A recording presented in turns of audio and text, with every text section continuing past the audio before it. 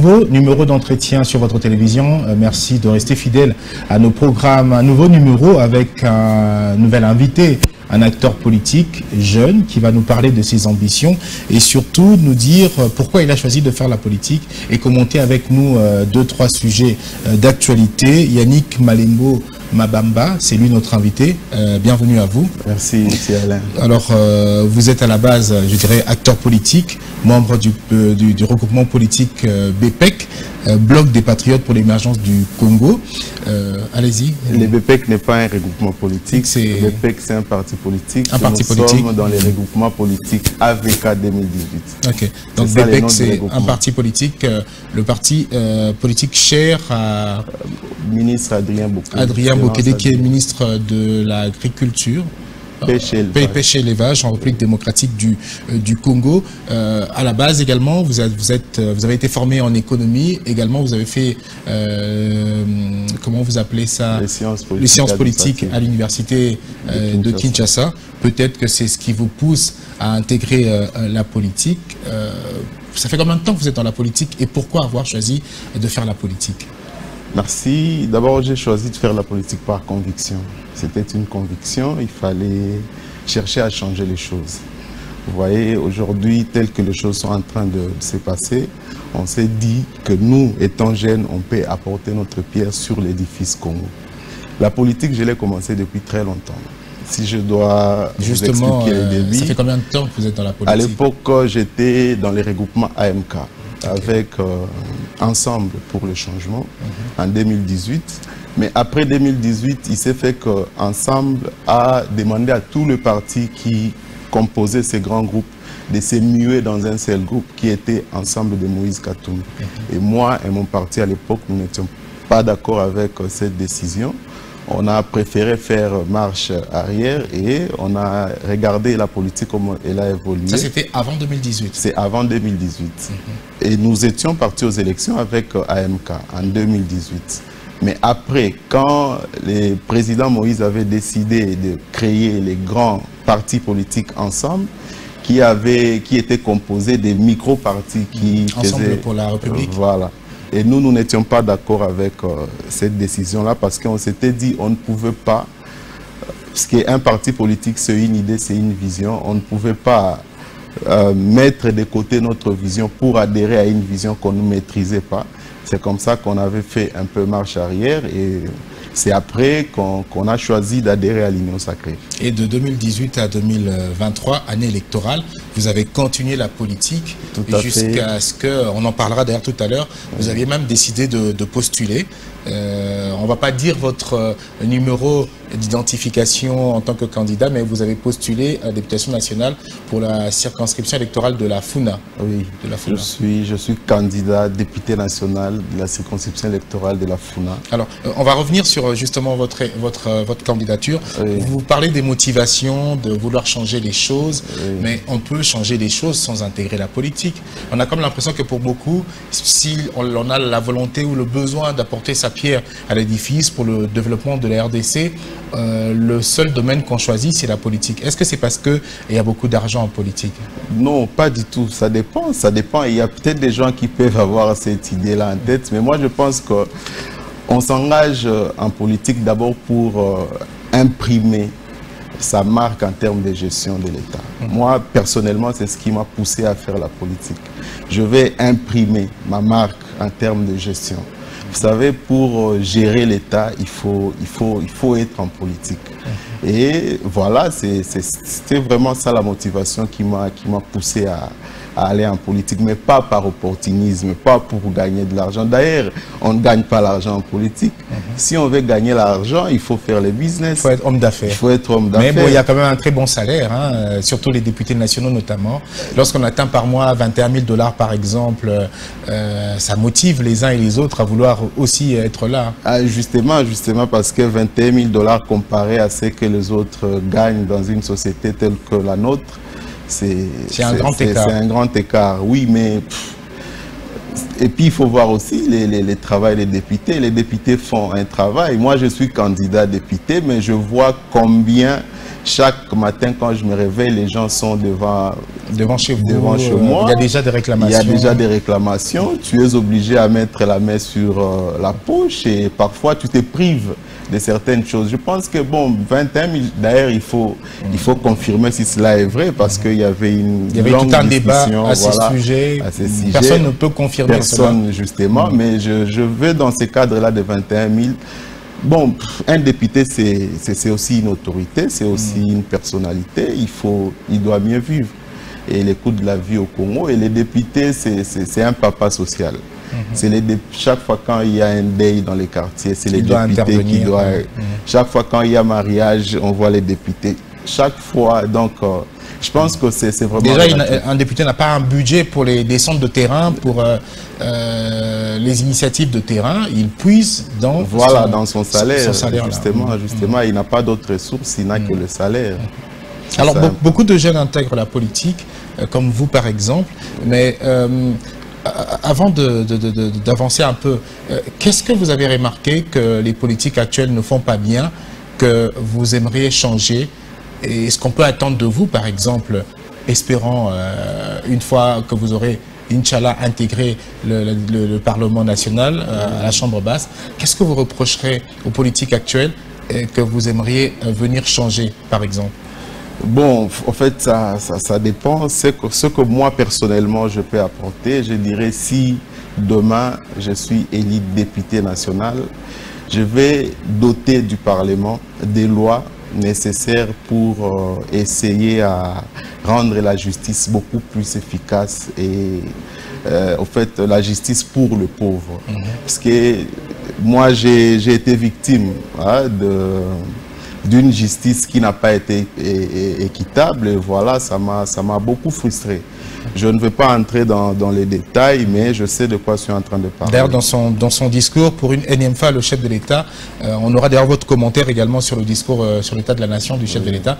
Il a également rappelé sa vision de l'État de droit qui prône une justice euh, équitable, équitable, pour tous. oui. Et donc, vous estimez qu'il y a beaucoup à faire dans ce domaine-là? Beaucoup, beaucoup à faire. Et je m'investirai vraiment efficacement pour que cette justice équitable soit une réalité, mais pas, pas de la poudre aux yeux. Beaucoup euh, pensent que les politiques ne font pas grand-chose. Les politiques euh, sont des menteurs, les politiques euh, sont des, personnes qui gagnent de l'argent, beaucoup d'argent pour rien. Qu'est-ce que vous en pensez, vous? Non, pas du tout. Les, les politiques font un grand travail. Les politiques font un Mhm. Parce grand que travail. je prends l'exemple de la- à l'Assemblée nationale, il y a des, euh, il y a des députés nationaux qui Oui. peuvent faire 5 ans sans même dire un mot au perchoir, sans faire euh, apporter des, des- des- des résolutions. euh, Bon, les gens, les gens ne voient que ce qu'on nous, montre dans les images, mais il y a aussi des, députés qui sont très actifs dans les travaux en commission. Moi, je- j'en sais quelque chose puisque j'ai j'ai été assisté à, plusieurs travaux en commission de, députés, mais les gens vous travaillent. Les députés travaillent. Je, en fait, je, ne dirais pas qu'ils font rien. Parce que moi, j'en sais un peu quelque chose. Je sais que les députés font un travail très, très, très important. Et pensez-vous que pour le développement de cette nation, euh, parce qu'aujourd'hui euh, il y a beaucoup de problèmes, hein, vous avez évoqué le problème de la justice qui, euh, de manière générale, euh, n'est pas vraiment équitable, le droit n'est pas vraiment dit euh, comme il se devait. Oui. Lorsque vous êtes pauvre euh, face à un magistrat qui a besoin d'argent, celui qui a plus d'argent prend le dessus. Il y a beaucoup de dossiers euh, de, de- de ce genre. Euh, vous pensez vraiment que ce développe- le développement de la RDC euh, dépend du politique et que le politique joue vraiment son rôle, le rôle qu'il devrait jouer?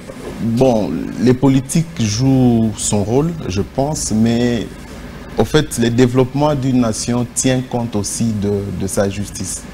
On doit avoir une justice comme pilier, une justice qui fait élever la nation, puisque vraiment la justice, elle est, elle est pour beaucoup. C'est la justice qui fera que toi et moi ayons une chance égale en plusieurs euh, domaines, Domaines. en plusieurs choses.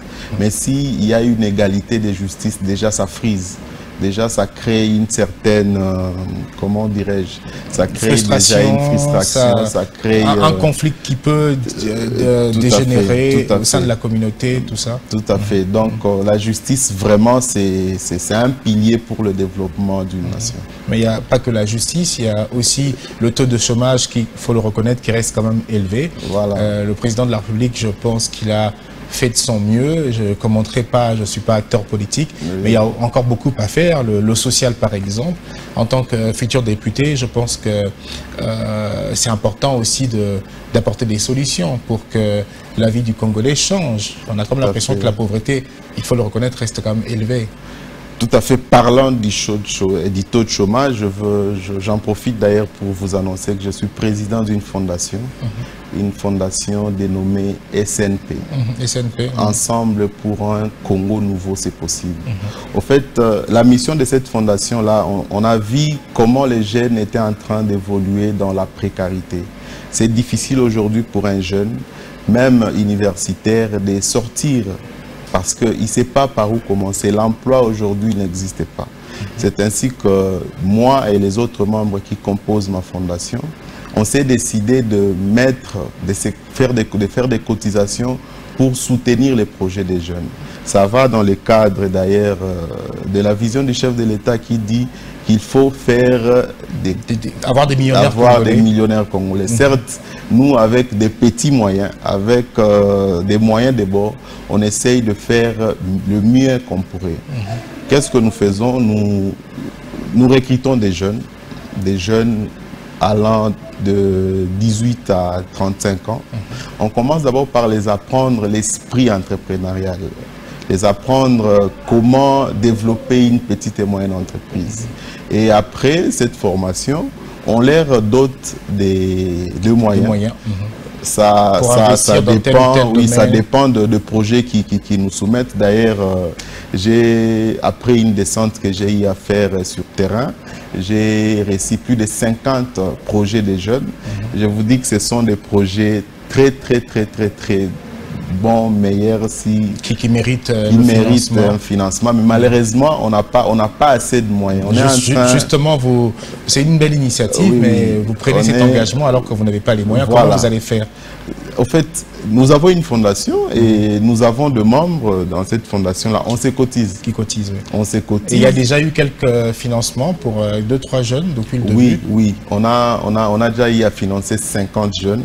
Déjà. 50 jeunes déjà. D'ailleurs, euh, ces 50 jeunes m'avaient reçu. Mhm.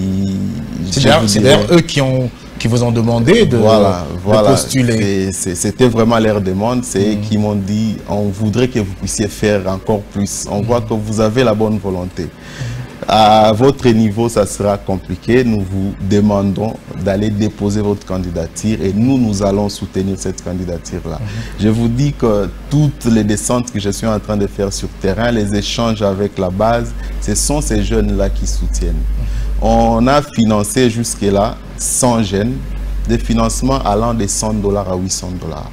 C'est de l'argent qu'on donne. Heureusement, heureusement, nous sommes tombés sur des bonnes personnes, des jeunes qui ont développé les capitaux qu'on avait mis à leur disposition. Et après six mois, ils sont venus nous Et, et ce sont des jeunes qui, qui vivent dans des familles dans, la dans, le, dans le district de la Funa. Non, au fait, euh, la, la fondation n'est pas Kafuna. Mhm. La fondation est répandue à travers toute la ville de Kinshasa, Kinshasa. dans Mhm. toutes euh, les circonscriptions de Kinshasa, les quatre circonscriptions. Les membres de notre association sont présents. Mhm. Et d'ailleurs, j'ai fait une descente vers Pompage là-bas. C'était par invitation de nos membres, mais qui sont de l'autre côté Mhm. Alors que vous êtes alors candidat que je suis de- candidat à de, la Funa. Voilà, donc euh, c'est un peu ça. Et ces jeunes-là, que je dirais, ils sont en train de faire un grand travail. J'ai d'ailleurs euh, l'exemple de quelqu'un qui a commencé petit avec une poulailler et aujourd'hui, il vous produit des plateaux des œufs. Et qu'il et il a obtenu le financement grâce à votre grâce à, la fondation, euh, et, SNP. SNP, Ensemble pour un Congo nouveau, c'est possible. Alors, euh, vous êtes candidat euh, aux prochaines élections à la députation nationale. C'est pas la campagne électorale, donc on va pas citer votre numéro identifiant. Peut-être qu'on en parlera pendant la campagne très prochainement. Mais est-ce que vous avez préparé le terrain? Oui, les jeunes de la, de la fondation vous ont demandé de postuler vous vous dites, oui, euh, je suis euh, acteur politique depuis plusieurs années, je peux le faire, mais euh, est-ce que vous êtes sûr de, passer? Est-ce que vous avez préparé le terrain? Est-ce que vous êtes connu? Bon, oui, le terrain était très préparé parce que moi, je, commençais à travailler sur cette candidature depuis 2015 pratiquement. Mhm. je, je me voyais être un acteur politique. Je me voyais, en fait, je suis nourri par des envies d'aider. Mhm. D'ailleurs, ce que je fais, je n'ai pas des moyens de l'État, mais je l'ai fait avec la volonté, mhm. avec l'amour. Donc, j'ai commencé à préparer le terrain depuis 2015. J'ai on a créé notre fondation, on a, on a vraiment, nous sommes connus aussi quand vous passez ici et là dans notre circonscription vous allez vous rendre compte que Yannick Malembo n'est pas quelqu'un qui, qui, n'est pas connu dans... Et euh, postuler demande également de, l'argent. Euh, une campagne électorale, il faut quand même des, plusieurs descentes de terrain, les, banderoles, les affiches, les t-shirts. Euh, est-ce que vous avez du soutien ou c'est avec vos propres moyens que vous allez financer votre campagne électorale Bon, la campagne électorale, on la, on la finance avec ses propres moyens. On a aussi les soutiens qui viennent du parti. Mhm. Et on a aussi les soutiens qui viennent d'ici et là.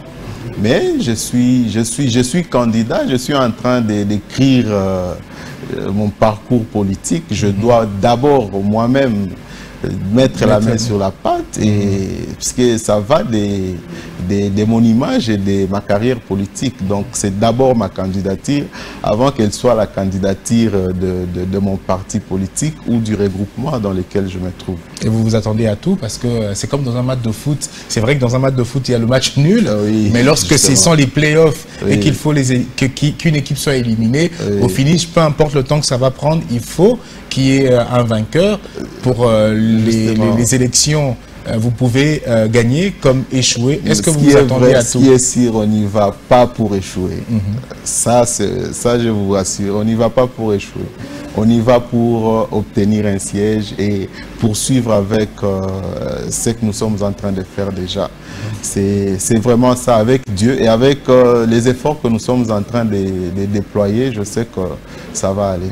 Et vous faites confiance en la CENI Vous pensez qu'il y aura des élections euh, comme en 2018, des, bonnes élections, et que les vrais vainqueurs seront ceux-là qui, vont, qui seront prononcés Bon, parlant de la CENI, ah, je, préfère rester dubitatif à cette question-là, parce que mm.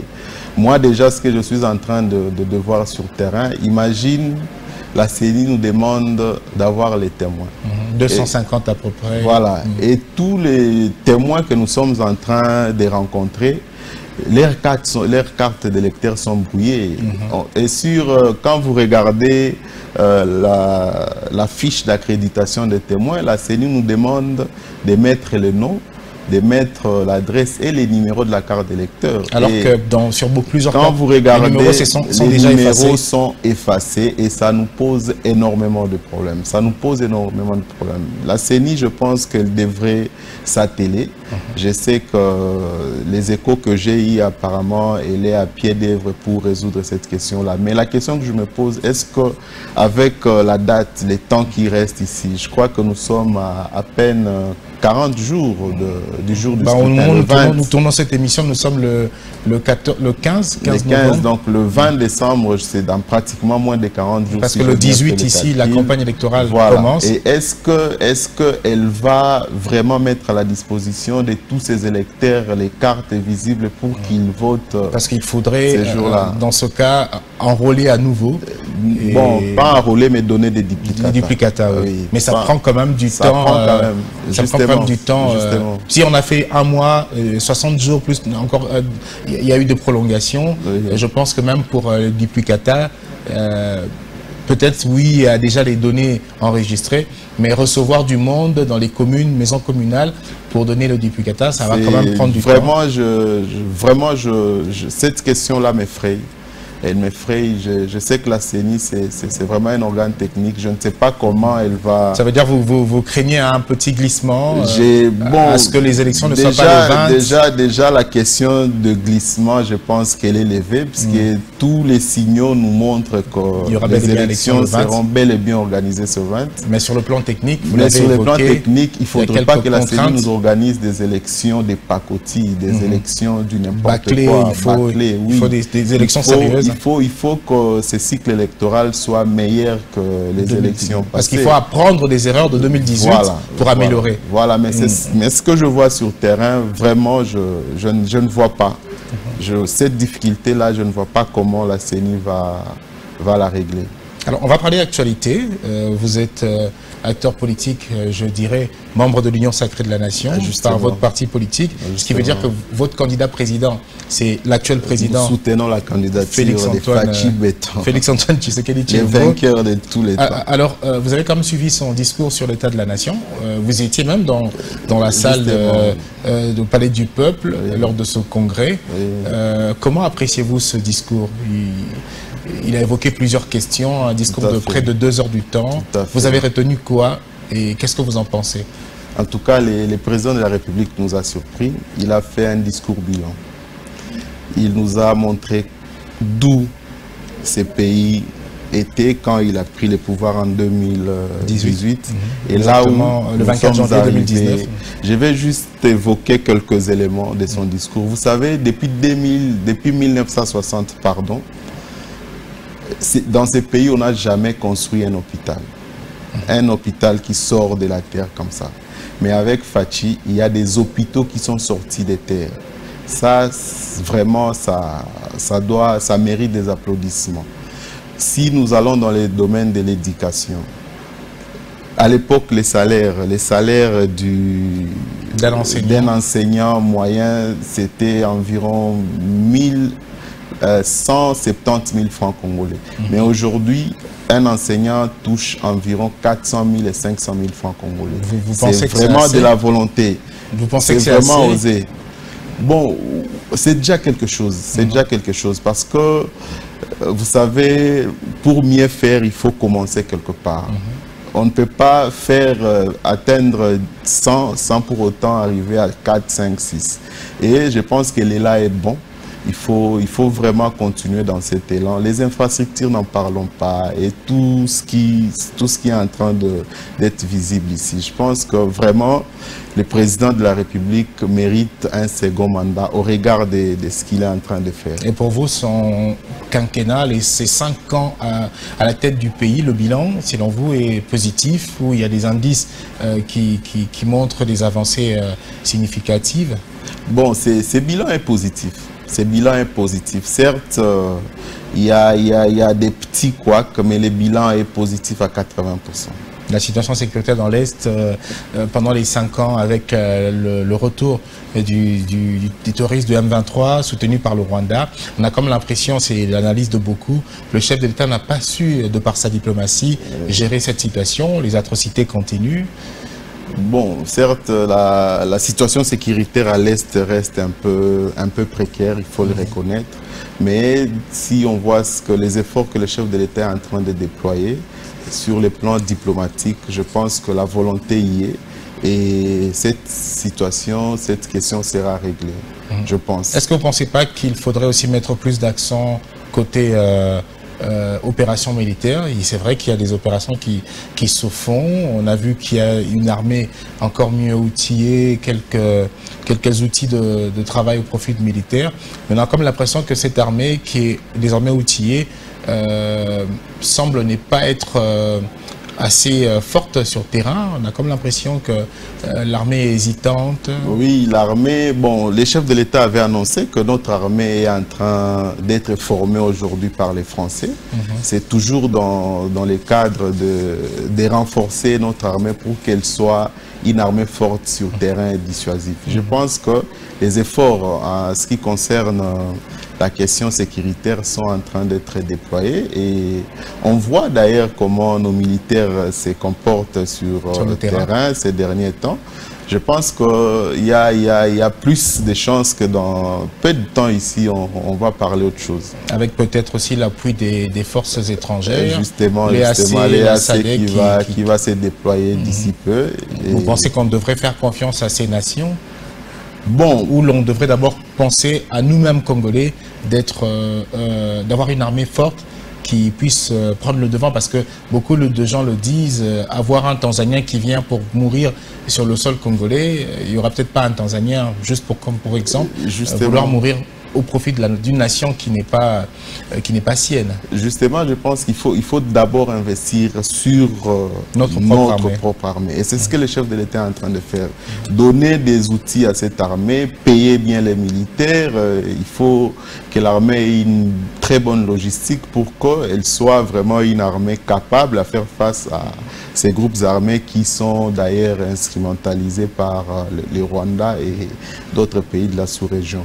Mais la force de, la SADEC aussi, ce n'est pas une, euh, c'est vraiment pas une, euh, comment dirais ce n'est pas, ce pas une mauvaise chose. Mhm. Si cette force-là se déploie, c'est toujours dans le cadre de, de mettre hors état de nuire ces groupes armés qui, qui ne cessent Donc le président n'a pas tort de tendre la main euh, aux autres, aux autres, aux autres euh, organisations régionales. Les chefs de l'État n'ont pas tort de tendre la main. Mais il y a aussi, il a, il a même dit ça dans son discours lorsqu'il évoquait le, le, volet sécuritaire, euh, les craintes de, de la de, l'afflux des conflits communautaires. dans le Maïndombe, il y a quand même l'État essaie de gérer ce conflit Teke et Yaka. On a cru, on a, on a, on a, on a, on a déjoué une montée d'un autre conflit dans la province de la Chopo.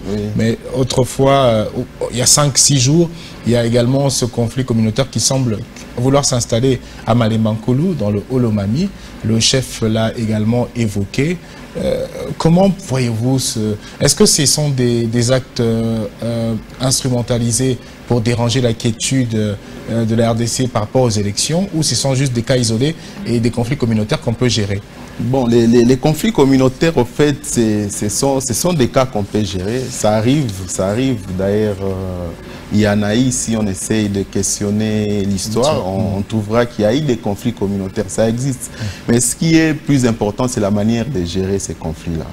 Il faut, il faut être à l'écoute de, de ces communautés comprendre quelles sont les revendications. Mhm. Je pense que c'est ce qu'il faut faire. Il faut, il faut vraiment aller à l'écoute. Et, et, vite passer à un dialogue euh, voilà, entre voilà, communautés, sensibilisation également. Tout à fait, tout à fait. Passer à un dialogue et aller dans le sens pour qui, qui pourrait mettre la paix. C'est mhm. ça. Yannick Malimbo, candidat à la députation euh, nationale, circonscription électorale euh, de la FUNA. les élections, c'est très bientôt. je voudrais, une dernière question, me revenir presque sur une question que je vous avais posée déjà. Euh, est-ce que sur le terrain, euh, tout évolue bien pour vous euh, Je rappelle que ce n'est pas la campagne électorale. Mais est-ce que tout évolue bien pour une victoire? Jusque-là, jusque-là, avec les différentes descentes que j'ai eu à faire sur terrain, les images d'ailleurs peuvent parler mieux que moi. Mhm. Je pense que ça évolue très bien. Ça évolue très bien. Ce qui reste, vous savez, dans l'irne, c'est le secret des dieux. Mhm. Mais au regard de ce qui se passe, je pense que vraiment nous avons suffisamment de chances d'obtenir un siège à Funa. Jeune, vous l'êtes, et on peut aussi s'attendre à une différence. Euh, Inch'Allah, une fois élu, euh, d'apporter euh, une nouvelle touche de ce que doit être un député national.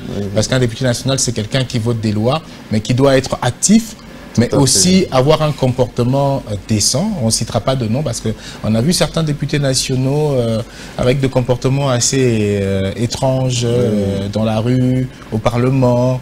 Est-ce qu'on peut attendre aussi quelque chose de, de, de, de différent pour vous qui venez avec l'objectif d'atteindre le Parlement et avoir une place? Monsieur Alain, je vous dirais que nous, nous sommes de la génération de la différence. Mhm. Nous venons pour imprimer notre marque. Avec l'énergie, avec la jeunesse, je pense que vous allez le voir. Si, Inch'Allah, si Dieu nous accorde cette chance-là de siéger à l'Assemblée nationale, avec euh, la bénédiction de nos membres aussi, de nos électeurs, je pense que vous sentirez la différence. Parce que nous, nous sommes venus pour euh, faire les choses autrement. Mhm. Nous sommes pleins d'idées, pleins d'énergie. On a vraiment beaucoup de choses à donner pour ces pays. C'est vraiment ça. Merci à vous. Euh, je rappelle que ce n'est pas la campagne électorale. Peut-être qu'on vous aura à nouveau euh, durant, durant la campagne. On peut juste se limiter à dire que vous êtes candidat à la députation nationale, euh, circonscription électorale de la, la FUNA, ah acteur politique à la base, formation en économie et en sciences politiques pas n'importe où, à l'université de Kinshasa.